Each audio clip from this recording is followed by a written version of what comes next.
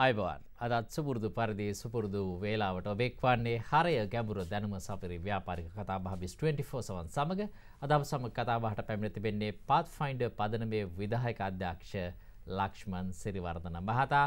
අපි සූදානම් වන්නේ ශ්‍රී ලංකාවට ඒවගේම ලෝකයට අපේ කලාපයට ඉතාමත්ම වැදගත්වන මාතෘකාවක් පිළිබඳව සාකච්ඡා කරන්න. චීනය විසින් ප්‍රකාශයට පත්කොට තිබෙනවා මේ වන විට වන් බෙල්ට් වන් රෝඩ් කියන ව්‍යාපෘතියක් සම්බන්ධයෙන් චීන ජනාධිපතිවරයා විවිධ රටවල් සමග මේ ව්‍යාපෘතිය පිළිබඳව සාකච්ඡා කලා ඒවගේම ශ්‍රී ලංකාවටත් ඔහු දෑ දිගු කලා මේ ව්‍යාපෘතිය සඳහා සම්බන්ධ වෙන්නට කියා. මේ පිළිබඳ විවිධ කතාබහ අප සමාජයේ තිබෙන අවස්ථාවක අපි සූදානම් වන්නේ මේ පිළිබඳව සාකච්ඡා කරන්නට. අයිබෝන් කැබෝ පිළිගන්න අපගේ වැඩසටහරට අයිබන්. ඇතටම මේ චීනය විසින් ප්‍රකාශයට පත් කළ තිබෙන මේ වන් බෙල්් වන් රෝඩ් කියන ව්‍යාපෘතිය පිළිබඳව චීනය ප්‍රකාශ කරන්නේ මේක තමයි ඔවුන්ගේ මේ ගලෝබලයිසේෂන් ප්‍රජෙක්් එක. කැන්නේ ගෝලිය කරණය වීමේ ව්‍යාපෘතිය විදිර තම උන් එක හඳුන්වන්න. එකැන ලෝකය සමඟ එකට ඒකාබද්ධවීම සම්බන්ධතා පැවැත්වීමේ මාවත ගැන මාවත පිළිපත් මාවත කියල තම උන් සඳහන් කරන්නේ. ඇතරම මොකක්ද මේ වන් බෙල්ට් වන් රෝඩ් කියන මේ ව්‍යාපෘතිය? දැන් මේක එක්දස් බලනකොට මේක එක පැත්තකින් ගොඩබිම් මාවත ඔස්සේ චීනයම ශයන් කෙන් නගරේ සිට ගොඩබින් මාවත ඔස්ගේ යුරෝපය කරා අතීතයේදී වෙළඳුන් ගමන් කරලා චීන සහ චීනයට පැමිණි වෙළඳුන් සහ ගිය වෙළඳුන් බාණ්ඩුව මාරුච්ච මාර්ගයක් ගැනත් අනි පැත්තෙන් සමුද්‍රීය ස්වේදමාවත කියන ලංකාවත් ශ්‍රී ලංකාවත් තච් කරගෙන නැත්තං ගෑවීගෙන යන සේදමාවත කියන දෙකත් ආවර් එක ඒ මාවත් දෙකේම තිවෙන දැනටත් තියෙන රටවල් වල සම්බන්ධී කරණයක් ඇති කරීමට ඒ ඇතිකරු ගණනු ලබන සම්බන්ධී කරණය කරණය ක්‍රියාදාමය තුළ ආර්ථික වශයෙන් ඒවා විවෘත කරලා ඕපනප් කරලා රටවලුත් ඕපනප් කරලා. චීනයේ සමග තියෙන සම්බන්ධතා මෙන්ම ඔවුනොවුන් අතර තියෙන සම්බන්ධාව වර්ධනය කිරීම මගින් අරොබතුමා කිව්ව වගේ එක්තරා ආකාරයක ගෝලී කරණයට ඒ රටවල් සම්බන්ධවීමේ ගෝලී කරන ක්‍රියාදාමයට ජවයක් දෙන ව්‍යාපෘතියක් හැටියට තමයි පළමෝකටම. හැබැ ඕක තව පැත්තක් තිනවා. ඒ එසේ කනෙක්ටිවිටිය එක නැත්තන් සම්බන්ධී කරණය ඇතිකිරීම සඳහා ක්‍රියාකරගෙන යාම සඳහා මොකද මේ දෙපැත්ත වන් පෙල්ට එකේ යන හැත් වන් රෝඩ් එකේ යන ඇත් ඔය ඔක්කොටම තියෙන්න විශේෂයෙන්ම අඩුදියුණු රටවල්.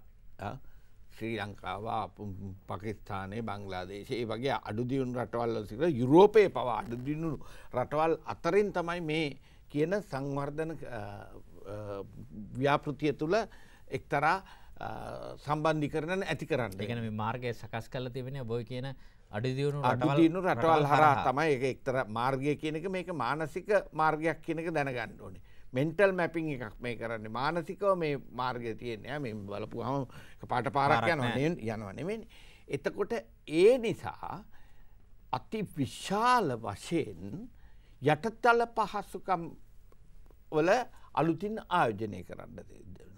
මේ යටිතල පහසුකම් කියන එක මහිතන්න ශ්‍රී ලාංකිකයින්ට තේරුම් ගණ්ඩ ලේසි. මොකද අපි මේ චීනයෙන් මෙම ව්‍යාපෘතිය ප්‍රකාශ කරන්නටත් කලින් සිට. යුද්ධය අවසන් වූ කාලයේ සිට අපේ රට තුළ පැවතුනාන විශාල චීන ආයෝජන. චීන ආයෝජනම නෙමේ. එකට කියන්නේ මේ යටිතල පහසුකන් දියුරුකින මේ ක්‍රියාවලියක්. එක තමයි මාර්ග පද්ධතිය දියුණු වෙනවා. එකෙදී අභ්‍යන්තර කුඩා මාර්ග සිට ඔක්කොම දියුණු වෙනවා. ඉට පස්සේ මාර්ග පත්ති තම්ත ඒකට අලුතෙන් එකතු වෙනවා. හයිවේ එක්ස්ප්‍රස් වේස් කියන සංකල්ප එකතු වෙනවා ඒවා ෆන් කලේ තියන ආයුජන වලින් විතරන්නේ මේ නායට ගැනීම් වලිනුත් එක්ක. ඉට පස්සේ අපි වරාය දියුණුව කරන කොළඹ වරාය දියුණු වෙන කොළඹ වරාය අලුත් පර්යන්ත ඇති වෙනවා. ඊට පස්සේ හම්බන්තොට වරාය වරාය අලුතෙන් හඳුන්නා දෙනවා. ඊට පස්සේ මත්තල ගුවන්තොට පලන්න කොළඹ ගුවන්තොට පල වඩා පුළුල් කරනවා. සහ වෙනත් ව්‍යාපෘති පිළිබඳ කතා වෙනවා. මේක ගැන හිතන්න අර බෙල්ට එක රෝඩ් එක කියන ඒ මහා පෘතුළු මාර්ගයේ තියෙන සියල්ලුරම රටවල් වලට මෙවන් බලපෑමක් ඇති වෙන්නකොට ඒකින් ඇතිවිය හැකි ආර්ථිකමය සම්බන්ධතායන් වර්ධනයවීම අරකිවගේ ගෝලී කරණය කරයම චීනයට සිදුවන වාසිතාගත වගේම ඒ රටවල් වලට සහ ඒ රටවල් වල ඇතිවන සංවර්ධන උද්දාමය කොහොමද අනිකුත් අනිකුත් එකට සම්බන්ධ නැති රටවල් පා ඒකෙන් ජාත්‍යන්තර ආර්ථිකයට ඇති කරන බලපෑම්. බලපෑම ගැන ධනාත්මක බලපෑම ගැන තමයි. ඇතරම දැන් අපි දනවා චීනය එක්තරා කාලයක මේ සංවෘත වගේ ආර්ථික ප්‍රතිපත්තියක් තමයි අනුගමනය කළේ. චීන යුවානය ඉතාම මේ බලහත්කාරයෙන් වගේ මේ තියාගෙනන්නව කියලා ඇමරිකාව ප්‍රමුඛ රටවල් චෝදනායල්ල කර. විශේෂයෙන්ම අපනයන ඒදී මේ යුවාන් එක කෘතිමල සව ප්‍රමාණය කරගෙන ඉන්නවා කියලා චෝදනා එල්ල වුණා. හැබ පසුගේදා චීන ජනාධිපතිවරයා කරපු ප්‍රකාශයක්. තැන් ඩොනල් ට්‍රම්් මැතිතුමා ඇමරිකාවේ ඉඳගෙන ඔහු දැම ආවෘත ආර්ථික ප්‍රතිපත්තියකට අතවරනකොට චීන ජනාධිපතිවරයා ඉතාමත්ම විවෘතව පසුගේදා සඳහන් කලා මේ ගෝලිය කරණයට චීනය කැමති වගේ කතාවක්. එතර මේ මේ වගේ ව්‍යාපෘතියක් ඉදිරියට පැමිණීම දැන ඔබකිව මේ එතරම් දියුණු නැති ප්‍රදේශ හරහ තමයි මේ මාර්ගය ගමන් කරන්න කියලා එතකොට අර චීන ආයෝජන ඔපාර එන්නේ මෙන මේ කියන මාර්ගය ඔස්සේ පමණයි කියන කතාවද මේ කියන්න චීනය බොහෝ දුරට වෙන්න මෙහෙමනේ දැන් ඊට චීනය කියන රට රිජුව දෙන නාය සහ අනිකුත් ආධාර වැඩ සටහන්වලට අමතරව මෙම ව්‍යාපෘතියම ප්‍රධාන වශයෙන් අරමුණු කොටගෙන මූල්‍යමය ප්‍රතිපාදන සපයන ආයතන දෙකක් බිහිවෙනවා. එකකට කියන්නේ Asian infrastructure investment bank AIIB හෙමනැත්තං ආසියානු යටිතල පහසුකම් සඳහා ආයෝජන කරන බැංකුව කියල එකක් පිහිටෙව්ව. ඊට අමතරව සිල්ක්ට්‍රෝඩ් සේදමාවත ෆන්් කියලා එකක් සේද එතකොට සේදමාවත සඳහා අරමුදල ආරමුදලකුත් ඇති කලා. එතකොට මේවයින් තමයි මෙම ක්‍රියාවලියට මේවට සම්බන්ධ වෙන රටවල් වල යටතල පහසුකම් වර්ධනය කරලා ඒ අර සම්බන්ධතාව සම්බන්ධී කරන එක නෙක්ටවිටිය එක වර්ධනය කරන්න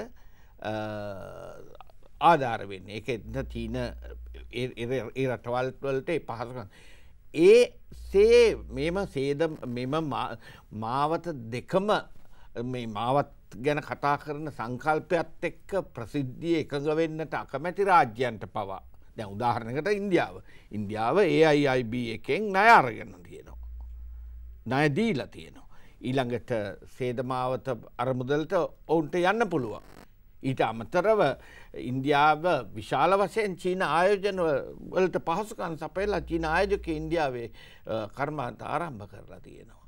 ඔය මේ අර ශැවමි කියන මේ මොබයිල් ෆෝන් එක වගා විශාල ආයෝජන කරන අපේ එකන්දාර සීමයි සහිතයි කියන්න බැහැ ඒ බෙල්ට එක ඇතුළ ඉන්න අයට විතරක් විතරක් නෙවේ කෙනක අපට කියන්න බෑ. අපි මද විරාමයක් ලබාගනවා විරාමයෙන් පසුව නැවතත් සාකච්ඡාව සමඟ.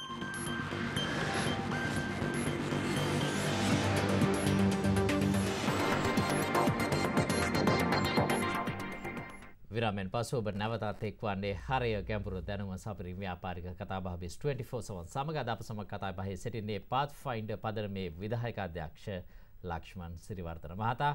අපි කතා කරමින් සිටින්නේ චීනයේ වන් බෙල්ට් වන් රෝඩ් ව්‍යාපෘතිය පිළිබඳව. අපි ඇතරම ද මේ ව්‍යාපෘතිය පිළිබඳ යම් දලා අවබෝධයක් ලබාගත්තා ශ්‍රී ලංකාවටත් මේ සම්බන්ධයෙන් ආරාධනාවක් එවගේම කැමැත්තක් පලවෙලා තිබෙනවා. එතකොට මෙවැනි ව්‍යාපෘතියක ශ්‍රී ලංකාව සම්බන්ධවීම තුළින් ලංකාවට ඇතිවන වාසි එවගේම අපට ඇතිවෙන අවස්ථාවන් මොනවද. දැම් ශ්‍රී ලංකාව කියන්නේ කුඩාරටක් නමුත් සමුද්‍රීය වශයෙන් ඉතාම උපායමාර්ගිකව වැදගත්ව පිහිටපු රටක්. ඒත් රට වැදගත්කම කියන්නේ ජාත්‍යන්තර ඇත පෙරදිග එක ජපානය චීනය කොරියාව සිංගප්පුර ඒ රටවල් හරවලට යන වෙළඳ නාවික මාර්ගයේ කේන්ද්‍රිය ස්ථානයක පිට රටක්. අනි ඒ අනිත් පැත්තට යුරෝපයට මැද පෙරදිකට සම්බන්ධ කේන්ද්‍රිය තියෙන. මෙසේ නිකන් කේන්ද්‍රියව යමක් හිටිය කියලා ඉවරලා අමුතු දෙයක් වෙන්නේ නෑ එක තේරනවා.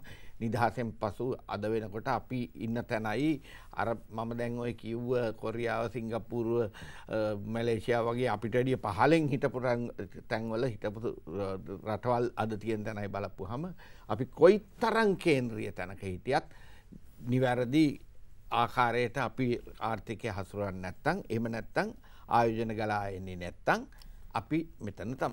එතකොට මේ ව්‍යාපෘතියෙන් කෙරෙන්නේ අර විදිහට අපි කතා කරපු ආයෝජකයන්ට වඩා හිතවාදී යටිතල පහසුකම් වර්ධනය කිරීමක් කෙරෙනවා.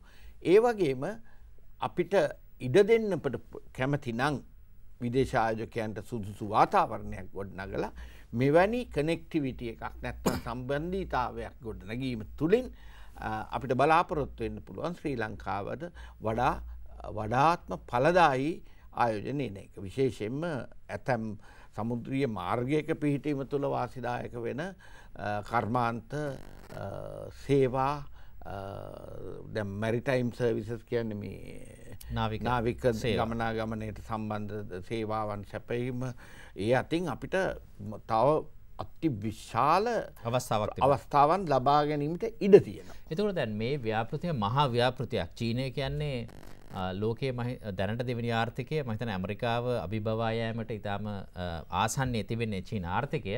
එතකොට මේ වගේ ලොකු රාජ්‍යයක් මේ වගේ ආර්ථික වශයෙන් ප්‍රබල රාජ්‍යයක් විශාල ව්‍යාපෘතියක් සිදු කරන විට අර ඔබ සඳහන් කරපු උපයමාර්ගික වශයෙන් ලංකාවේ පිහිටීම නිසා කුඩා රාජ්‍යයක් වුණත් ලංකාවට මේ ව්‍යාපෘතිය ඉතා ප්‍රබල පලයක් ලබා ගැනීමේ අවස්ථාව තිබෙන මනේද. ඔව මේකයි උපායමාර්ග කියන මෙතන මම පාවිච්චි කළේ වචනය වානිජ්‍ය සහ ආර්ථික උපාය මාර්ගික වශයෙන් වැදගත්කම. ඒක ගැන ඒ වැදගත්කමෙන් ප්‍රයෝජන ගණ්ඩ පුළුවන් එක පැත්තකින් චීනයට චීනය ප්‍රධාන ධාවකය හැටියට එක ක්‍රියාම්ලතු. ඊට අමතරව අපි අපි අදාළ යටිතල පහසුකං එකැනෙ වරාය ගුවන් ඊළඟට මහාමාර්ග ඒවගේ පහසුකං අපි ගොඩනගලා. අපි ඒවගේ මේ කර්මාන්ත පිහිටුව මේ කලාප ඒ මේ සකස් කරලා දෙන්ඩ කැමති නං කැමතිනම් පමණක් අපිට අර මහා ප්‍රතිලාබ චීනයෙන් විතරක් නෙමේ අනිත් සියලුම රටවල් වලට අපි වටිනා රාජ්‍යයක් වෙන මොකොත් දැම් මේ ගොල්ල එලි පෙහෙලි කරගෙන ලැහැත්වෙලා ඉන්න අප ඒ ඒ තත්ත්වය චීනයට ආවනික තත්ව චීනය වෙන්ඩ පුළුවන් ඉන්දයානු ව්‍යාපාරකය වෙන්ඩ පුළුවන් යුරෝපිය ව්‍යාපාරකය වෙන්ඩ පුළුවන් ජපානය වෙන්ඩ පුළුවන්. දැන් ඉතින් ඇමරිකාව වගේ රටවල් ගැන බලාපොරොත්තියා ගන්න අමාරුයි. ඇමරිකාව මේ අර ඔබතුමාකි වගේ ආවෘත තමන් ගැන හිතන තත්වයට පත් වෙලා වගේ පෙන්නෙන නිසා. ඒ වගේ ප්‍රතිපත්ති තියෙන් රටවල් වලින් ඇරෙන්ඩ අනි හැම්ම විවෘතරම ජපානය. ඒවගේ රටවල් අපිට සමී අපේ රට තුළ ආයෝජනය කරන්න පෙළමෙනවා අපේ රටේ සංවර්ධන ක්‍රියාමාර්ගයට ව්‍යා පෞද්ගලික මට්ටමෙන් විදේශ ආයෝජන මට්ටමෙන් සම්බන්ධවෙන්ට බොහෝ ලිට්ට මේ ව්‍යාපෘතිය තුළ ඉඩ තියෙනවා ඒ තුළ අපි හරියට ගමන ගියොත්.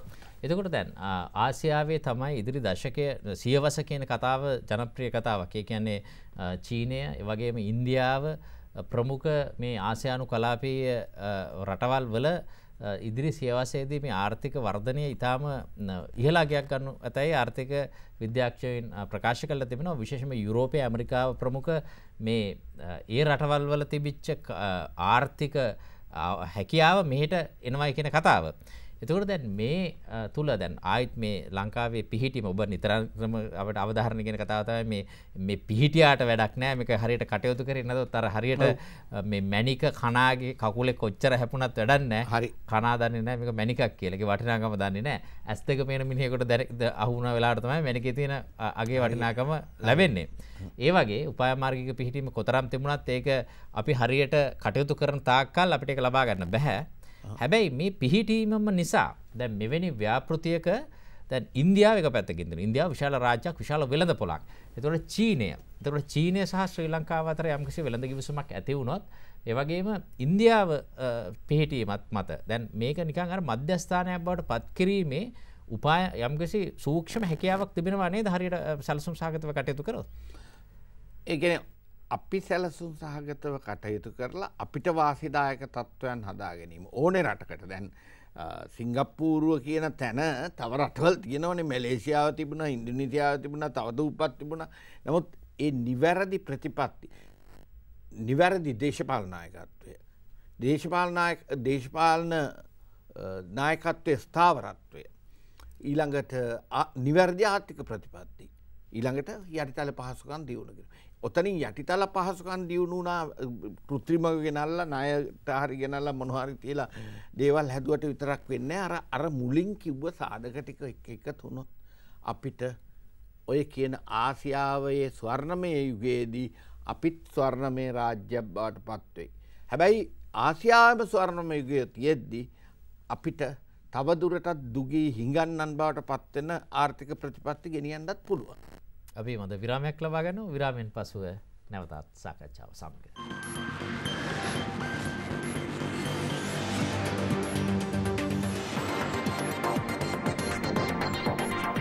ග්‍රමෙන් පසුව නැවතත් එක් වන්නේ හරය ගැඹුර දැනුම සපිරි ව්‍යාපාරික කතා බිස් 24 සවන් සමග අප සම කතා බහේ සිටින්ඩේ පාත් ෆයින්ඩ පදන මේ විදායක අධ්‍යක්ෂ ලක්ෂ්මන් සිරිවර්තන මහතා අපි කතා කරපෙන් සිටින්නේ වන් බෙල්ට් වන් රෝඩ් ව්‍යාපෘතිය සම්බන්ධයෙන් අපේ කතාබහ අවසාන භාගයට අපි පැමිණ තිබෙනවා. අපි ඔබ විතරක් නෙවේ මේ වැඩසටහනට එන ඒවගේ ගොඩක් තැන්වල කතා වෙන දෙයක් තමයි මේ ලංකාවේ පිහිටීම. මේක එදා ඉඳලම සියවස් ගානක ඉඳලා ලංකාව මෙතර තියෙනවා. එහෙට මෙහට උනේ නෑන තවමත් තියෙනවා. මනාගතෙත් තියෙනවා. හැබැයි මේ පිහිටීමෙන් වාසියක් ගන්න ඒවගේම ඒක කටයුතු කිරීම අපේ වගකීම ඇතර මේ වගේ ව්‍යාපෘතියකට ගතිත් ඒක අදාලයි අපි මේ වගේ දේවල් වලින් වාසි ගන්න මොනවාද කළ යුත්තේ මොනවාද නොකළ යුත්තේ. අරිම තැනට ආවා. මේ මුල්ලු වැඩ සටහනේම අන්තිමට හසන්නන්ට සහ ඇසිය යුතු අයට වැදගත්වෙන කාරණාටිකන දැන් අපිට කතා කරන්න. පලවෙනිම කාරණය තමයි හරියට බැලුවොත් ඔබතුමා බැලුවොත් ශීජීපින් ජනාධිපතතුමාගේ යෝජනාව එක තැනක තියෙනවා පොලිසි කෝඩිනේෂන් කියලා.